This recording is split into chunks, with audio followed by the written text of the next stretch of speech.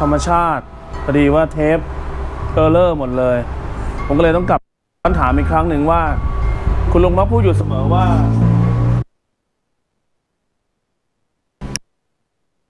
หนึ่งที่กดเกมตายตัวตัวหนึ่งในหลายๆกฎกฎตัวนี้ก็คือ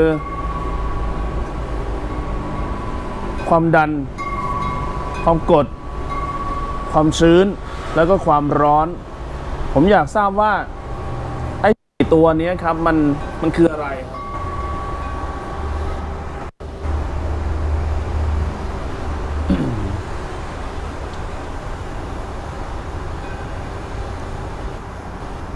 เอานี่ก็แล้วกันนะว่า เอาคำเอาคำตอบเดี๋ยวนี้วินาทีเนี้ยมันก็คงได้แค่ภาษา ที่จะสื่อสารกันได้ แต่โดยเนื้อในจริง ๆ แล้วแล้วก็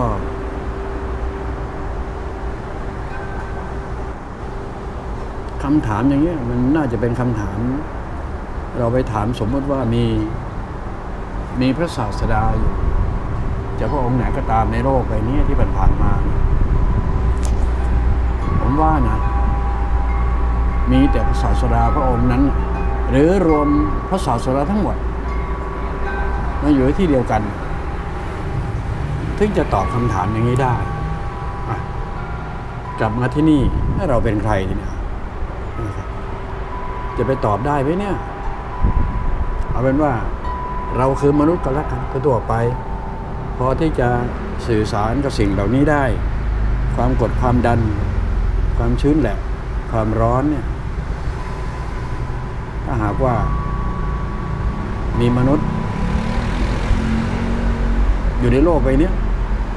ที่เขาว่าเจ็ดพันแปดพันล้านคน เอานะ ทุกๆคนก็น่าจะรับรู้รับทราบ พอจะพอจะ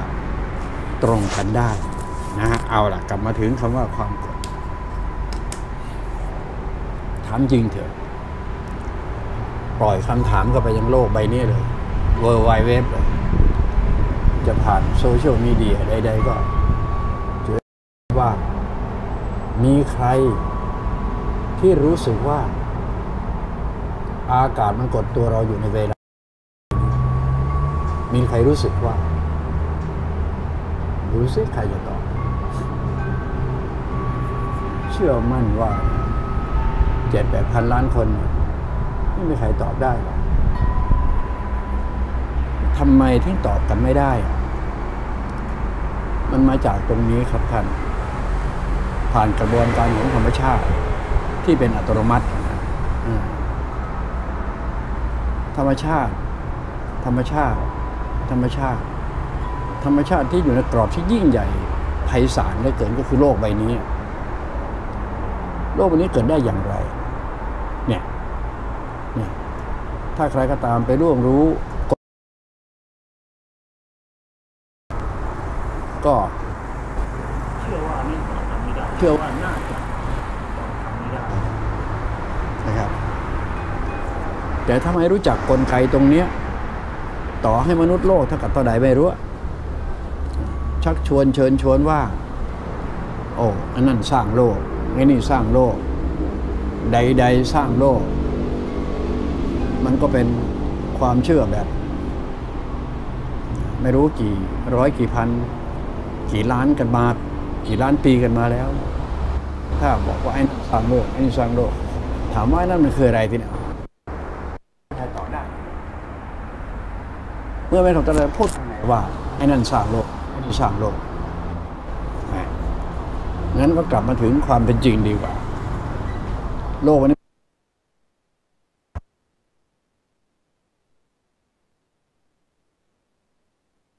ว่าเอาแนวทางมาเป็นตัวคำถามต่อ ถ้าหากว่าจะเอาหลักศาสนามาจับได้ไหมลุงก็จะมองเห็นอยู่แค่เชื่อมั่นว่าศาสนาเดียวในโลกที่ตอบคำถามว่า การเกิดเป็นทุกข์ โลกนี้เกิดมา มันจะมาในหัวโคนยอมรับกันได้ว่า การเกิดเป็นทุกข์ ก็แปลว่า สิ่งใดที่มันเกิดมาตรงเนี้ยอย่างไฟแช็กมันเกิดมาใครจะไปทำอะไรก็ช่างหัวมันเถอะนะมาดึงไฟแช็กมันก็เป็นทุกข์แต่มันพูดแทนมนุษย์ไม่ได้ มันพูดแทนมนุษย์ไม่ได้เพราะนั้น มนุษย์อย่างเราท่าน มนุษย์ถามมนุษย์ มนุษย์ก็ตอบโดยมนุษย์ทีเดียวเออเอาเป็นว่า โลกวันนี้มันเกิดเอง ถ้าการเกิดเป็นทุกข์โลกวันนี้มันก็เป็นทุกข์ทีเนาะหลักพุทธศาสตร์พุทธศาสตร์บอกไว้ว่า มันมีต้นเหตุของการเกิด หรือว่าการเกิดมันมีที่มา งั้นโลกวันนี้เกิดอย่างไรอีกครั้งหนึ่งนะครับว่า มันมีคำถามกันอยู่ในโลก โลกนี้เกิดได้อย่างไร ก็มีพระเจ้าสร้าง พระผู้เป็นเจ้าสร้างมา แล้วอยู่ไหนพระเจ้าพระพุทธเจ้าก็ไม่ได้อีกทีนึงงั้นก็ไต่บันไดของคำว่าทุกสมุทัยนิโรธแล้วกัน จากแนวทางของพุทธศาสตร์มาอธิบายความโลกนี้เกิดเป็นทุกข์ต้นเหตุของโลกนี้เกิด มันคืออะไรต่อ ไม่รู้นะถ้าถามลุง ลุงก็บอกว่าลุงอาทิตย์แล้วครับ เป็นตัวทำให้โลกใบนี้เกิดถ้าบอกว่าดวงอาทิตย์มันมันเกิดดวงอาทิตย์มันก็เป็นทุกข์ทีนี้อ้าวอ้าวแล้วไปไงต่อนั้นก็ต้องต่อไป อะไรเป็นต้นต้นเหตุทำให้ดวงอาทิตย์เกิด ก็ต้องตามไปหานู่นนะฮะทางช้างเผือกช้างแมวที่เขาว่ากาแล็กซี่เอากาแล็กซี่มันเกิด มันก็มีตัวต้นเหตุของก่อให้เกิดการกาแล็กซี่เพราะมันจะไปต่อไงงั้นก็โยงไปยังวิทยาศาสตร์ก็แล้วกันที่เขาว่า มันเกิดบิ๊กแบงเอาไปสิงานเนี้ยไปหาบิ๊กอบิ๊กแบงเกิด มันก็ต้องมีอีก ถ้าตามแนวทางพุทธศาสตร์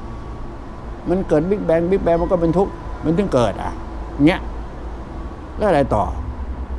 มันน่าจะเป็นก่อนบิ๊กแบงน่ะ เมื่อก่อนบิ๊กแบงมันต้องเป็น before big bang เนี่ย แล้วไปไงต่อ ถ้าหากว่าอะไรมันเกิดก่อน before big bang ก่อน before before before โคตร before โคตร before super before มันไปกันแล้ว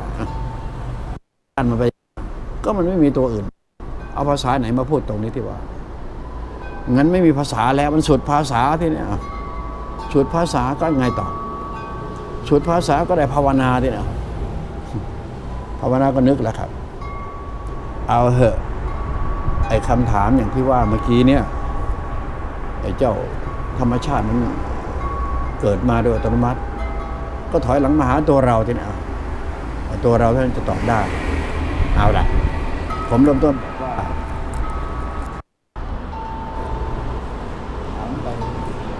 อันล้านคนรู้สึกไหมว่า มีความกดอากาศ อากาศมันกดเราอยู่ทุกวัน เชื่อมั่นว่าไม่น่าจะมีนะ ไม่ว่าจะคนคนนั้นเกิดที่ยอดเขาหิมาลัย ไม่ว่าคนเกิดอยู่ในจุดใดก็ตามในโลกไปนะเพราะอะไร เพราะว่า ตั้งแต่พ่อแม่เราก็อยู่ในโลกนี้ตอนที่เรายังไม่มาเกิด พ่อแม่เราก็อยู่ในโลกปู่ย่าตายายก็เกิดอยู่ในโลก เนี้ยเพราะฉะนั้น การที่มันเป็นโลกโลกมันเป็นหนึ่งเดียวกับโลกกันมาตลอด ตั้งแต่รุ่นพ่อแม่ปู่ย่าตายายถอยหลังไปปืดปืดปืดปืดปืดปืดมันเป็นหนึ่งเดียวกับโลกมาตลอด มันจึงไม่รู้สึกรู้สาว่าโลกนี่มีความกดยังไม่พอนะ โลกวันนี้มันหมุนรอบตัวเองอยู่นะด้วยความเร็วความเร็วเท่ากับแสงในโลกใบนี้เออนะมีใครบ้างรู้สึกว่า โลกใบนี้มันเหมือนรอบตัวเอง บุคคลที่จะรู้สึกว่าหมุนรอบตัวเอง ถ้าคนไหนรู้สึกนะ คนนั้นก็จะรู้สึกความกดอากาศได้อย่างไร ก็ต้องไปถามหาเองมาแล้วกัน เมื่อ ไม่มีใครจะมีคำตอบ แต่คำถามมันมาแล้วเมื่อกี้เนี่ยลองถามใหม่ดูซิว่าไงนะ ความกด ความดันความชื้นความร้อนมันคืออะไร เห็นหลุงพูดบ่อยจังเลย มันคืออะไร ตอบคือความเจ็บปวดได้ไหมทั้งนั้นเอาง่ายๆคือความรู้สึกกันละกันไม่มีคำตอบที่จะได้เนียนแน่เนียนกับตอนนี้แล้ว ความกดความดันความชื้นความร้อน มันคืออะไร คืออะไร ย้ำคืออะไร ก็คือความรู้สึก แล้วความรู้สึกมันเป็นยังไง เอาเอาผ่ามาใกล้ๆทางนั้นน่ะ เออ ดูสิจะเอาตัวนี้ทิ่มมันสิเนี่ยรู้สึกยังไงน่ะโดนจะให้ใครมาตอบทีเนี่ยรู้สึกไงมันโดนของแหลมทิ่มจะให้ใครมาตอบ อ้ยถ้าตอบความรู้สึกตัวเองไม่ได้ ลุงก็ยอมแล้วแบบนี้นะต่อมายังไม่พอไอ้ที่นี้ก็รู้ว่าเป็นของร้อน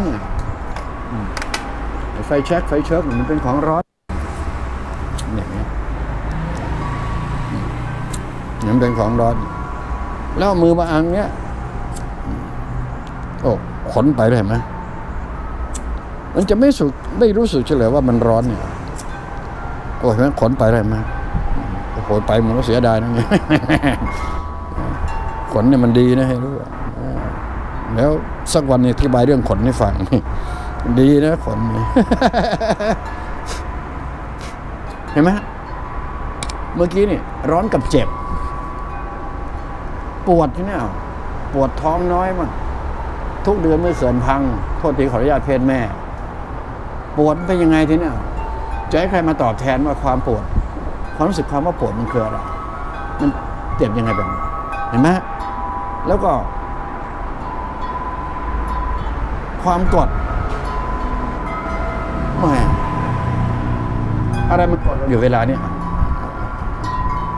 อะเรายืนตรง ถามว่าอะไรมันกดเหรอคำว่ากดนะกดข้างๆเราหนึ่งก็ใช่ แล้วกดศีรษะเราก็ใช่ดิอะไรมันกด ถ้าเราอยู่ในท่ามกลางของอากาศมันก็โดนทั้งกดข้างแนวด้านแนวราบแล้วก็กดบนก็คือแนวตั้งและไอ้ที่มันกดกดที่ว่าเนี่ย จะเรียกมันอีกอย่างหนึ่งได้ไหมได้นักวิทยาศาสตร์ก็บอกว่าก็คือความอะไรความโน้มถ่วง ความโน้มถ่วงของโลก มันโน้มยังไง มันถ่วงยังไง มันโน้มแบบโน้มคอมาตีเขาอย่างนี้ใช่ไหมอย่างนี้วะอย่างนี้วะมันโน้มอะ เออเอาไงต่อโน้มยังไงเรื่องอย่างนี้นะฮะ มันเป็นเรื่องที่ลึกซึ้งกันมากๆนะฮะ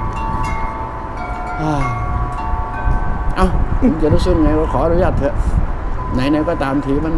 มันมาถึงจุดนี้แล้วเนี่ย ถ้าหากว่าใครก็ตามที่ ไม่รู้สึกว่าโลกใบนี้มันหมุน ทั้งทั้งที่ความจริงมันหมุนรอบตัวเอง ถึงลุงหงอกจะเล่ายังไงให้ฟัง อัดด้วยภาษาไหนก็ไม่ได้ อัดด้วยภาษาไหนก็เข้ามา ก็ไม่มีทางที่จะ get into แปลว่าไม่มีทางที่จะจะได้เลยนะยกเว้นอะไรเนาะก็มันไม่มีข้อยกเว้นนะมันก็คือมันไม่ได้อะสิ่งที่กำลังพูดพูดอยู่เนี่ยคิดเอายังไม่ได้เลย รู้สึกเอานี่ก็ยังไม่ได้ รู้สึกมันเป็นเพียงตต้นทางให้ให้เข้าสู่ตรงนั้นได้ เอาใครก็ตามที่ ที่รู้สึกเนี่ยรู้สึกร้อน จนมันไม่รู้สึกเนี่ย มันจะมีไหมมนุษย์พันธ์เนี่ยเออรู้สึกจนไม่รู้สึก มีไหมล่ะไอ้ของร้อนเนี่ยสมมุติว่าเรามีหลอดไฟหนึ่งหลอด จะมีกี่แรงเทียนล่ะเอาสักร้อยแรงเทียนก็ได้ แล้วก็ไม่รู้แล้วครับ เสียบปลั๊กเอาไว้สักหนึ่งนาทีสองสามสี่ห้านาที ถ้าถามคนทั้งโลกว่ายังไม่ได้แตะต้องมันร้อนไหมเขาเชื่อว่าเจ็ดแปดพันล้านคนบอกว่าร้อนแน่นอน สมมติว่าจะไม่สักใครสักคนหนึ่งในโลกใบนี้บอกว่า เฮ้ย มันไม่ร้อนกันแล้วกันนะรับได้ไหมทีเดียวเออเอ้ยมันไม่ร้อนกันแล้วกันนะแล้วใครเลยคือคนนั้นทีเดียว ก็ไม่รู้จะว่าไงล่ะครับก็ไปถามหาเองแล้วกันมีบุญก็จะเจอคนคนนั้นครับถ้าบุญไม่พอมันก็ไม่เจอหรอกครับแล้วคนคนนั้นล่ะ ที่เขาจะมาตอบคำถามที่ว่าได้ลงตัวที่สุด โดยที่ไม่มีข้อแม้ใด ๆ ประมาณนั้นเอาฮะก็ยังมากลับหาคำมาเดิมแล้วความกดความดันความชื้นนะซึ่งมันก็มีอยู่อ้างถึงทีเนี้ย นักวิทยาศาสตร์เขาบอกกันว่า ความกดของอากาศที่อยู่รอบตัวเราเนี่ยมันกดเข้ามาทั้งรอบด้านนะครับทั้งแนวตั้งแต่เป็นแนวตั้ง ถ้าหากว่าเราไปเหยียบอยู่ที่ริมทะเลเนี่ยเหยียบน้ำทะเลไปมันขึ้นลง เหยียบที่จุดเนี่ยมันเมื่อเวลาโลกมันหมุนตลอดเวลาเนี่ยน้ำทะเลมันก็ไม่นิ่งทีเดียวมันจะมานิ่งที่จุดเดียว จุดนั้นคือจุดที่ไม่มีเวลา สวยอีกแล้วนี่คนพูด จุดไหนที่มันไม่มีเวลา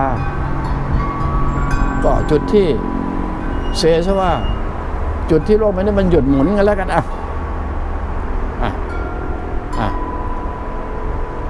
แล้วแล้วแล้ว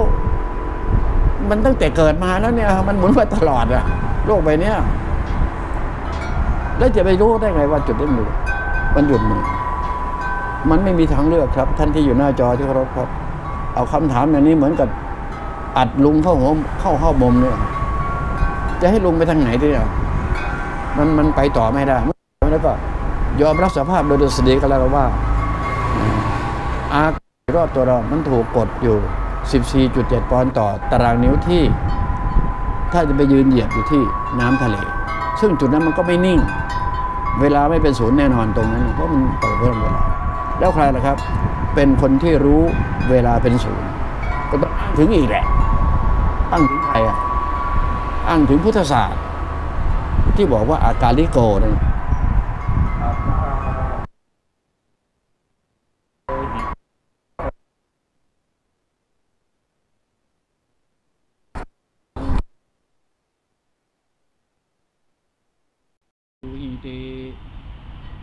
สิ่งนี้มันจะรู้ได้เฉพาะตัวตนคนคนมันจะมีสักหนึ่งคนที่จะรู้จักเรานะถ้ามันไม่รู้ถ้ามันไม่มีคำสอนพุทธศาสตร์ซึ่งมาจากพระพุทธเจ้าเนี่ยก็มันก็ใช้ไม่ได้อะแต่ถ้ามันมีแล้วคำสอนมันจริงมันก็ต้องใช้ได้แต่เอาแต่ยึดหลักศาสนาที่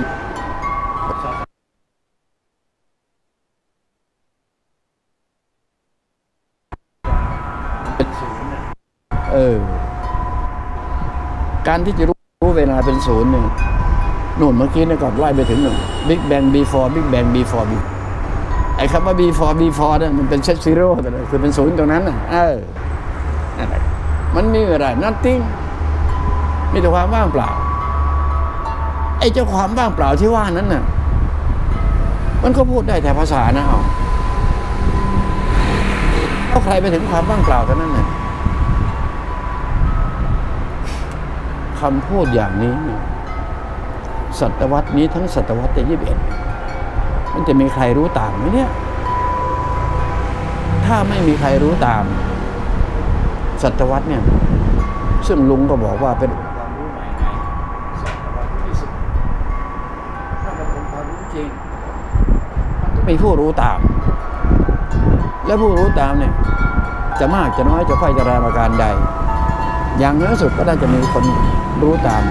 เจ็ดแปดพันล้านคน ไม่มีใครรู้ตาม ก็มันรู้ไปเถอะอะเออกลับมาที่เป็นคำตอบสุดท้ายดีกว่า ความกดก็คือความกดอากาศนะครับไอ้เจ้าความดันเหมือนว่ามันจะเป็นที่เดียวกัน กดแรงต้านกันแล้วกันแรงดันคือแรงต้านกดเข้าไปลูกโป่งหนึ่งใบเอาลงไปเต็มที่ ตั้งมานเอา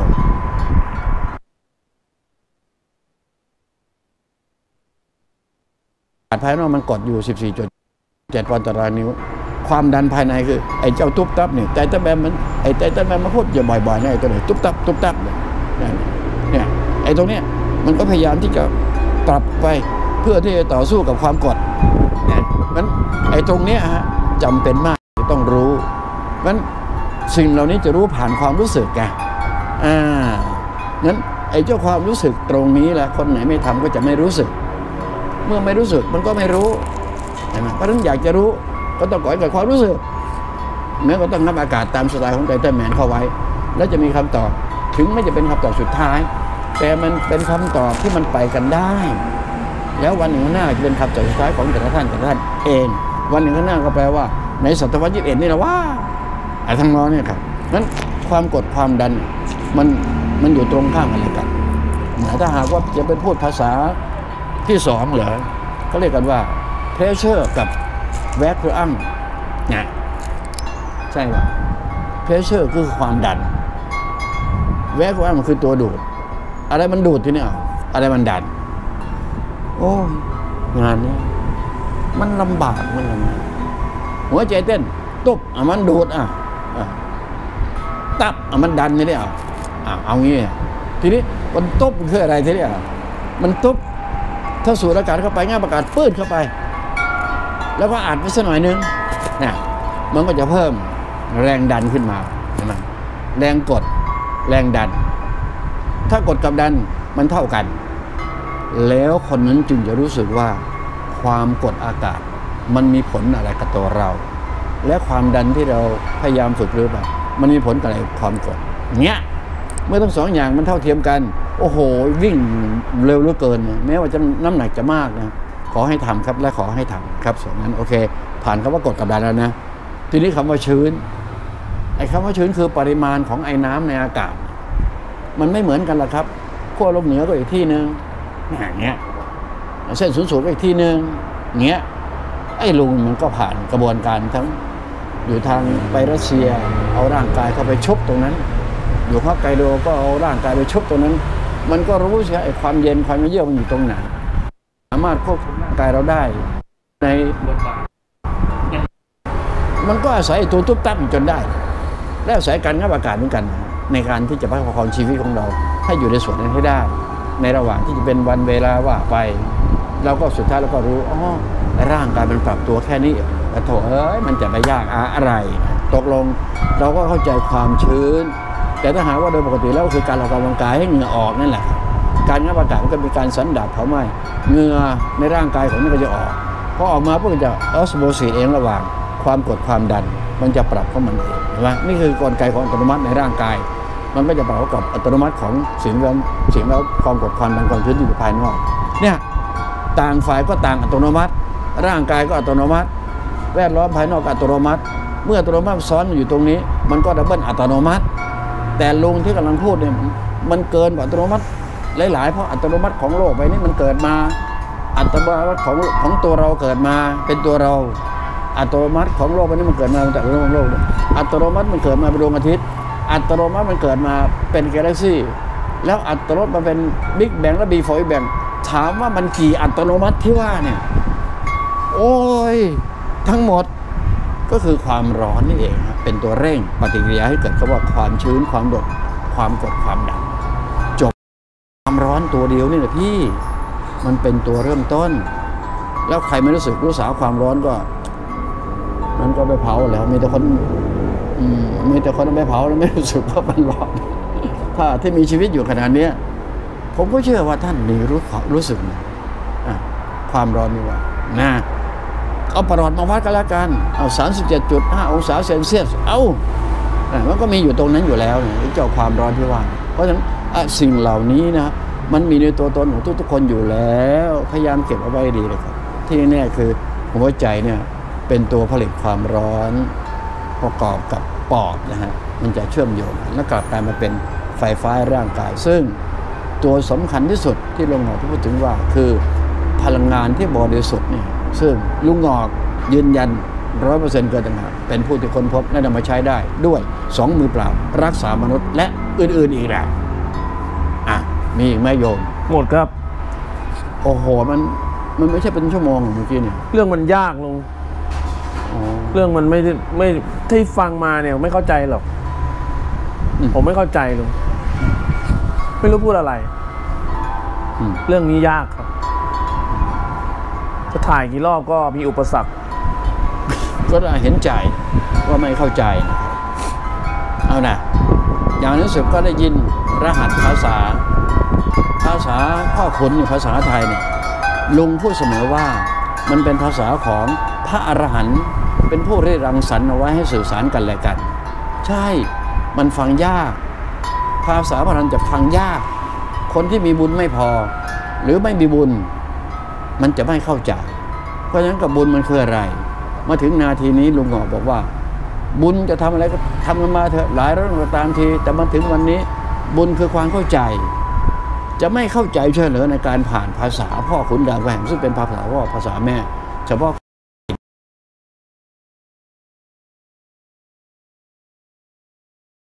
ที่เอ้ยว่าแล้วก็สาธุ อามินอาเมน โอม และอามินจะพูดจบข่าวครับผม thank you very much ครับผม